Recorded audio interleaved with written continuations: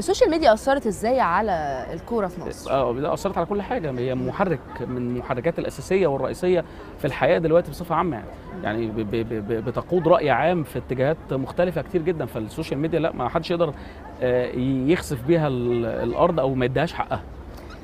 بتمثل ضغط على اللعيبة؟ طبعا بتمثل ضغط على أي حد. لعيب ومسؤول وجمهور ومدرب وكل حاجة. اللي عايز فعلا يروق دماغه آه، يبعد عن كل ال social media ولكن آه، اللي بيحاول مثلا يبعد آه، لو أنا مثلا قررت إن أنا أقفل ال social media بتاعتي كلها آه، أصحابي هيقولوا لي آه، ولادي هيقولوا لي آه، مش عارف مين هيقول لي آه، آه. فهتلاقي برضه هيوصل لك اللي بيتقال صحيح، آه يعني صحيح.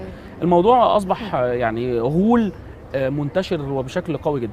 انت بقى محظوظ ان انت كنت تلعب وقت ما كانت ال social media في في في في, عزها لا كده؟ ممكن أقول لك العكس. أنا ممكن كان كان نفسي أكون موجود وقت social media لأن الشهرة بت ت- ت- تتضاعف أكيد لا بتبقى triple و- و- و- وأربع أضعاف وخمس أضعاف.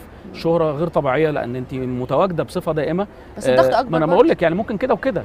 يعني هي بصي أنا ما ينفعش قياس زمن بزمن آخر. أنا دي وجهة نظري دايما. يعني ما ينفعش. هو كل وقت وليه اذانه وكل وقت وليه لعبته وكل وقت وليه تكنول- التكنولوجيا بتاعته. فما حدش لو دخلنا الأزمنة في بعضها الله أعلم إيه اللي كان ممكن يحصل.